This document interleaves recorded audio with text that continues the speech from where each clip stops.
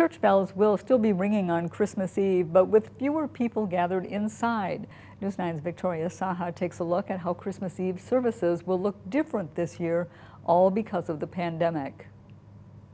Just like many of the Sunday services this year, the sanctuary here at the First United Methodist Church in Wausau will be empty on Christmas Eve.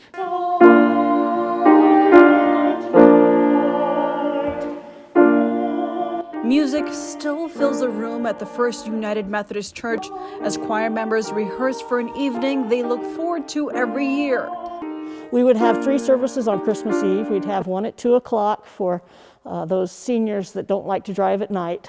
Um, and then we would have a family Christmas Eve service at 4 and then a more traditional Christmas Eve service at 8. But this year, seats will be empty on Christmas Eve Instead, they're hoping the parking lot will be full. This is our BK Smith room, and um, we'll have a radio transmitter uh, with two microphones, and people will be parked out in the parking lot, um, and we'll have uh, keyboard, uh, our organist will be here playing. The First United Methodist Church has been around since the 1800s, and this will be the first Christmas Eve members of the congregation won't be sitting side by side.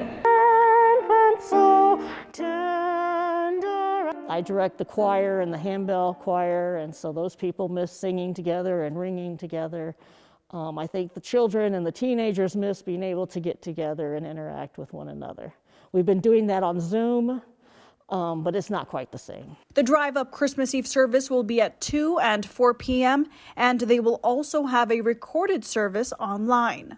We're going to hand out battery operated candles and still sing Silent Night, but um, everybody will be in their cars.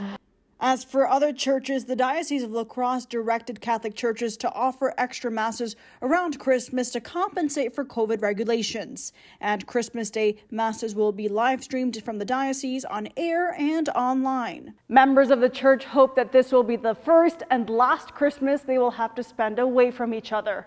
In Wausau, Victoria Saha, News 9, WAOW. And as for the Lutheran churches in our area, Victoria tells us that St. Mark's in Wausau will be offering live streams on Christmas Eve at 2 and 6 o'clock, along with the recorded service at 4.